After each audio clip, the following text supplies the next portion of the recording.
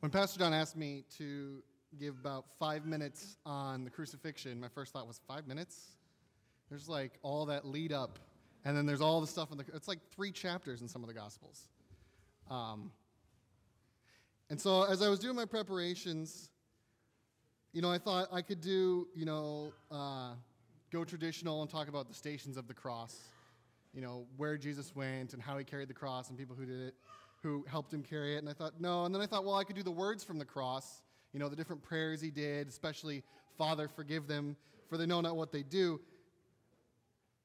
And then I realized that I think the best thing to talk about is the reason for the cross. See, as, as I was doing my research, I looked and I found in Luke 19, and because we don't have a lot of time, I don't, I'm not going to go there directly. But in Luke 19, this is after Jesus has been brought to Pilate, and Pilate questions him, and Pilate says, like, there's no reason you're in front of me, Jesus. And he tries to get the Sanhedrin and the religious leaders to give up Jesus because he's like, there's no reason, I'm not going to execute this guy. He hasn't committed treason against Rome. And finally, after he goes back and forth with them several times, at the very end, after they've already beat him, and Pilate's like, Look, we beat him, just, I can set him free. They say, No. You know, he's like, he, he goes, They say, No, he's claiming to be the Son of God. So Pilate goes back, and talks to Jesus, and Jesus doesn't deny it. And Pilate comes out and he says, your, he says he's your king. And the religious leaders say, We have no other king but Caesar. We have no other king but Caesar. Why do they say this? Well, they have power. They have their own kingdoms. They've been given this power by Caesar. They are in power over the Jews, and they don't want to give it up. And in fact, if you look all throughout the Gospels, Jesus confronts this power that the religious leaders have. But specifically in Matthew 15, there's this interchange where Jesus and his disciples aren't washing their hands, and the Pharisees go, You're supposed to wash your hands. And Jesus says, why should I clean the outside when, the, you know, he says, you guys, you clean the outside, but the inside's still dirty. He says, the things you do make it difficult for people to come to God. In fact, he gets so mean that one of his own disciples says, Jesus, you're offending them. And Jesus says, I know. See, the point was Jesus came to talk about a different kingdom. He came to talk about a kingdom that seeks the disenfranchised. But that kingdom was in direct opposition to the kingdoms of the religious leaders. Because they had power and they had authority.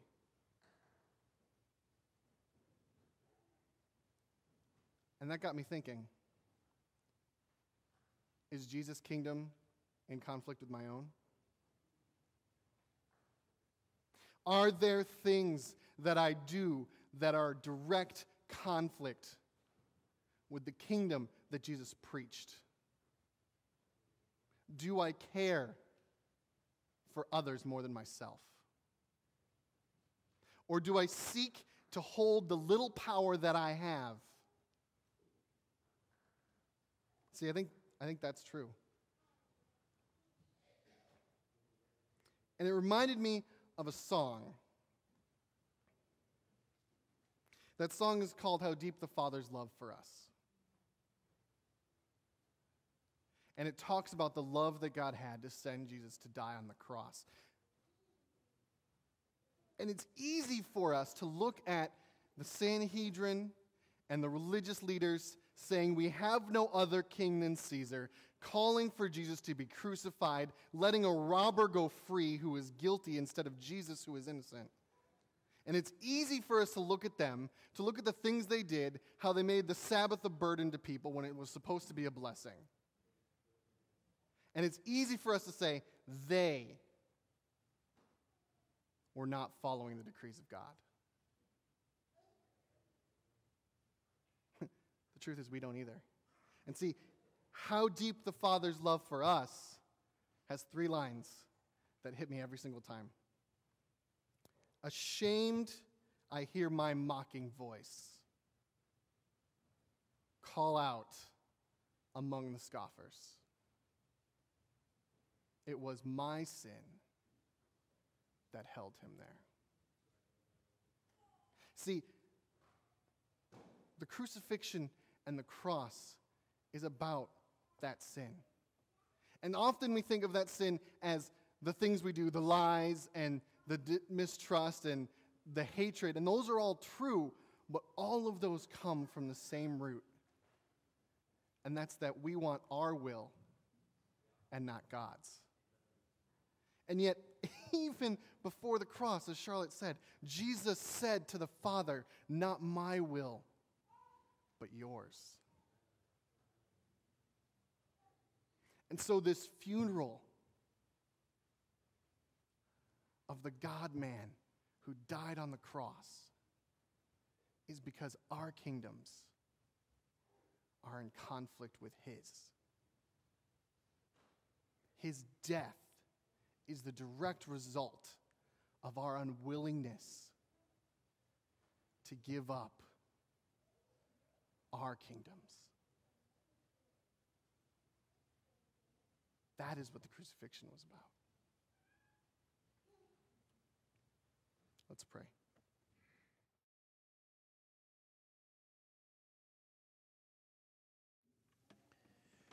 There was darkness of soul and spirit the hours following the crucifixion. Some disciples scattered and just ran, and others huddled together in an upper room with the doors locked and barred. You could smell the oil lamps and burning while they were gathered close together. There was a mixture of fear and doubt, worry and with a with a paralyzed mood that everything was out of their control. Everything has run aground like a fishing boat that has rested upon a sandbar. Their hope was gone. There's no fixing this. Things could not be undone. Speaking of the future, what could that be possibly like? How could we begin to think about that? Survival is what our lives are all about right now. Jesus told us of a kingdom. He tried to tell us that uh, all this was going to happen, but we didn't get it. I wonder if we'd ever get it. Everything we thought we knew wasn't what we were experiencing now, right now.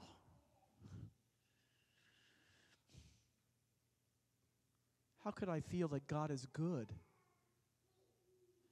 when it seems like my whole world is, is broken? Yet he said, Greater love hath no man than this, that one lay down his life for his friends, and you are my friends. Grief is the shadow that hangs over us right now, and but the questions. Is the soldiers looking for us too? The rattling of the gate or doors. Will they do to us what they did to him?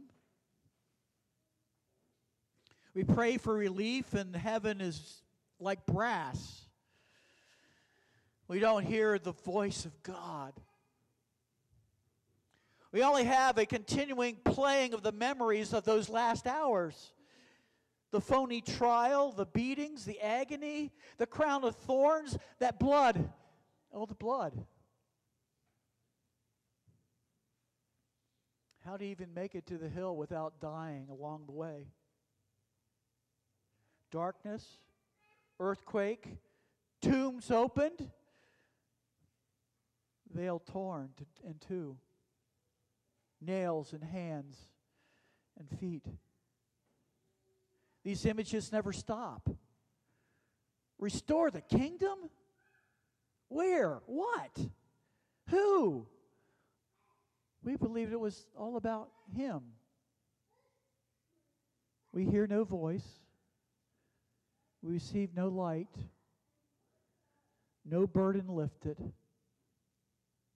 Why didn't we do more? We ran. We denied. We huddled. These experiences of the disciples in those hours has been often called the wilderness experience, where every emotion, strength, even the idea of moving forward in life, everything stops.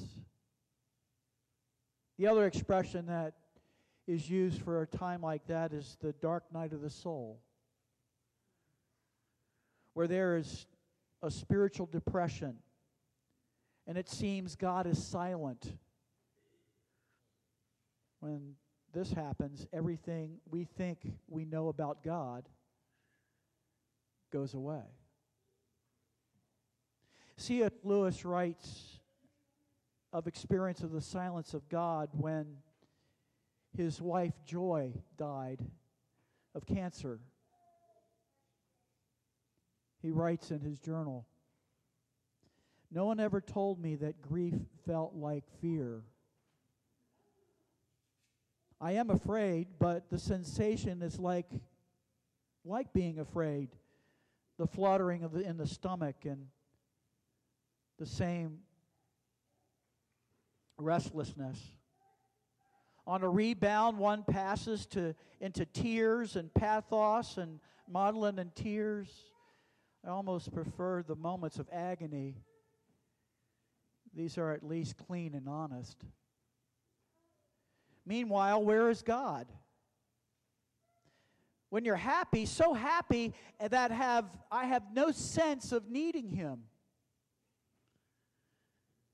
And if you remember yourself and turn to him and with gratitude and praise, you will be and so it feels welcomed in open arms. But go to Him and in your need and desperate, des- desperate, and when all other help is vain, and you, what do you find? A door slammed in your face, a sound of the bolting, double bolting on the inside after the silence. You may as well turn away. The longer you wait, the more emphatic the silence will become. Why is it that he's, his presence so commanding, commander in a time of prosperity, and so very absent a help in times of trouble? Later, Lewis would write these words. I gradually have gradually be, been coming to feel that the door is no longer shut and bolted. I was like a drowning man who can't be helped because he clutches and he grabs.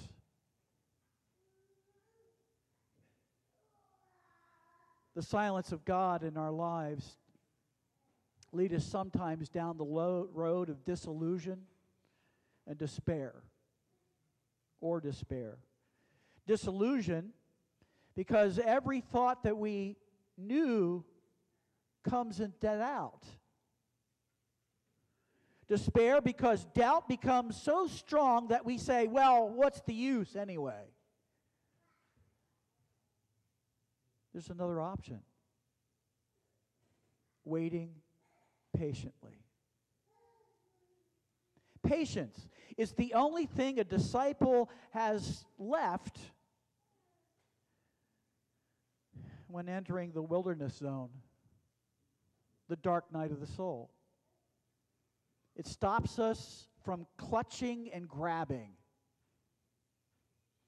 It drives us to long for God even more. As the deer pants for the streams of water, so my soul pants for you, O God. My soul thirsts for God, for the living God. My tears have been my food day and night, while men say to me all the day long, Where is your God?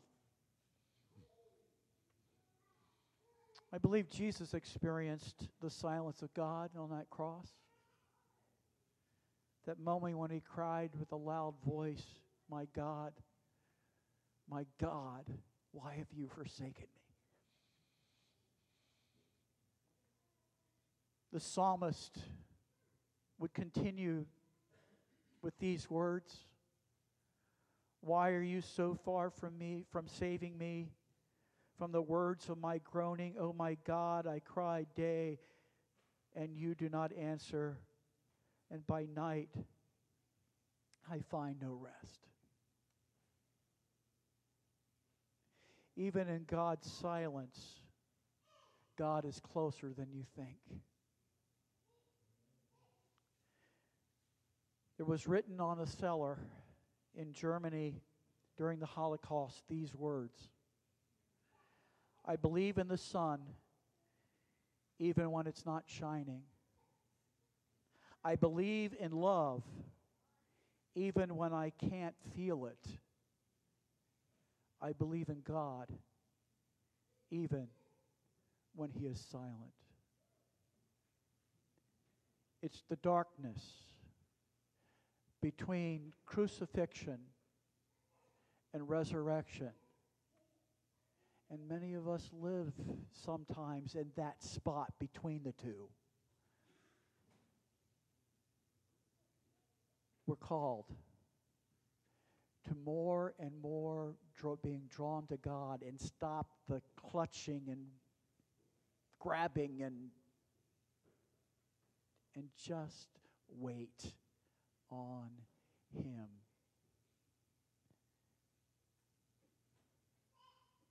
Because that burial in the tomb isn't the end isn't the end.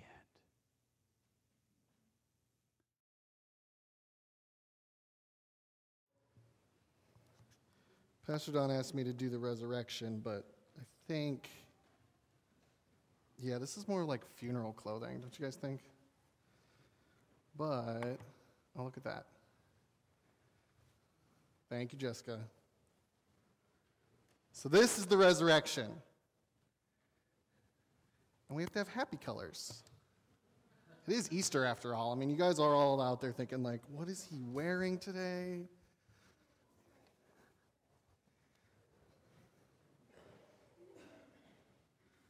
Okay. I'm not going to button this all the way, it's going to take forever.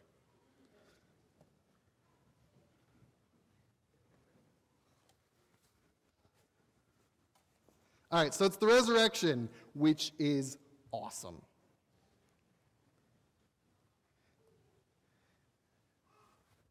And we wear happy colors because it's spring, and spring reminds us of new life. It reminds us to rejoice, and there are like 15 babies here, and it makes me so happy.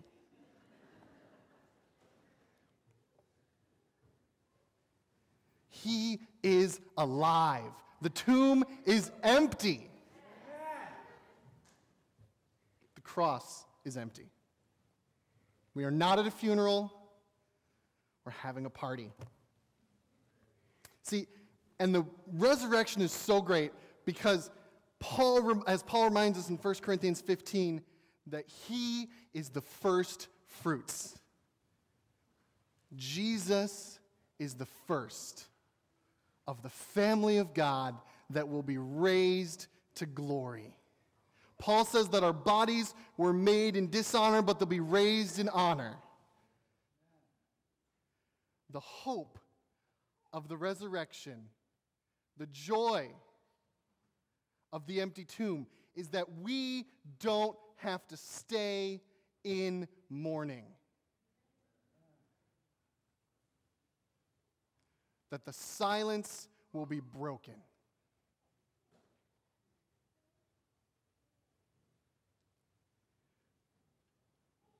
But I want to talk a little bit about something else. See, we often think about the rejoicing, but we don't realize exactly what Paul is saying. He is saying we will have glorified physical bodies. It's not going to be halos and harps and clouds. And in fact, if we go to Revelation 21, and I'm actually going to turn there because I love it so much. We find a great promise. John writes, Then I saw a new heaven and a new earth. For the first heaven and the first earth passed away, and there is no longer any sea. And I saw a holy city, New Jerusalem, coming down out of heaven from God, made ready as a bride adorned for her husband. And I heard a loud voice from the throne saying, Behold, the tabernacle of God is among men. Mm-hmm. And he will dwell among them, and they shall be his people, and God himself will be among them. And he will wipe away every tear from their eyes, and there will no longer be any death there will no longer be any mourning or crying or pain. The first things have passed away. Did you catch that? New heaven and a new earth. And Jerusalem comes down to earth. It goes up to heaven to meet God and comes down to earth. See, that promise of a new earth, that promise of the glorified bodies, means that what we do matters. In fact, this was the kingdom that Jesus talked about, the kingdom that sent him to the cross, and the kingdom for which he raised, was raised from the dead. See, sometimes we think that unless you're a preacher or a missionary, you're not doing the work of God. And this just goes against that. The hope of the resurrection is that what we do for God's kingdom matters.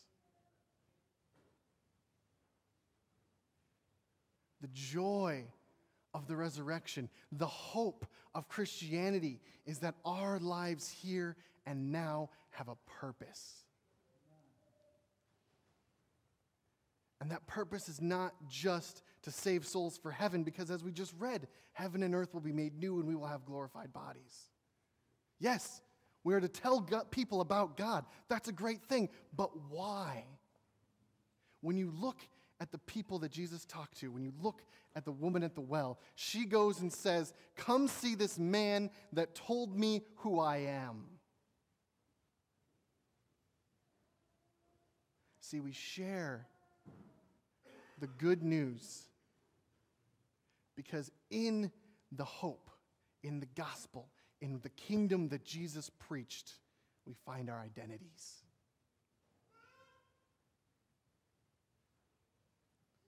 And more than that, the hope is that there is a day coming where there is no more tears and no more crying and no more pain. And that that dark night of the soul will cease. and we will dwell with God. He will make his tabernacle among his people. And as Paul said, we see through a mirror darkly, but then we shall see face to face. And that is the point of the incarnation and the crucifixion and the resurrection. God's kingdom and if we want to know what God's kingdom looks like, all we have to do is look at the Gospels. All we have to do is look at every time Jesus said, This is what the kingdom is like.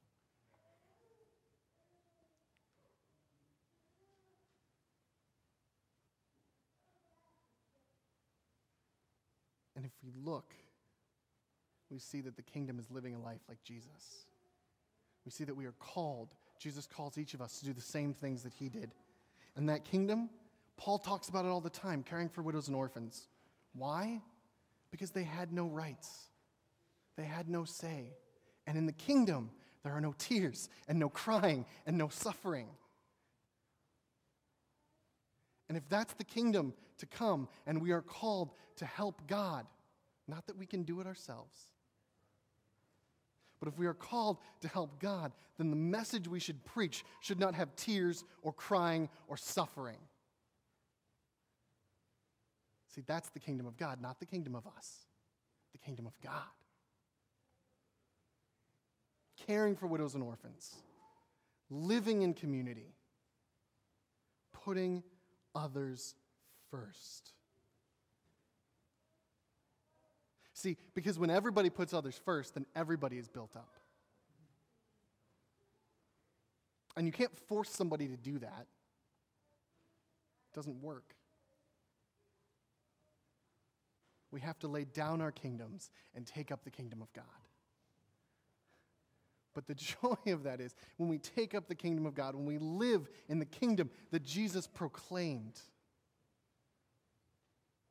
we realize that we have finally found our purpose and our identity. And so the resurrection reminds us that we are new creations. The old is gone, the new has come. And we have joy because death has been defeated. Sin no longer has a hold on us. Paul mocks death. He says, Where is your sting? And we can walk in the light with our God and our Creator and our Savior. And we can remember there is no suffering, there is no crying. And the pain that we feel now is passing. There is a day coming that we have hope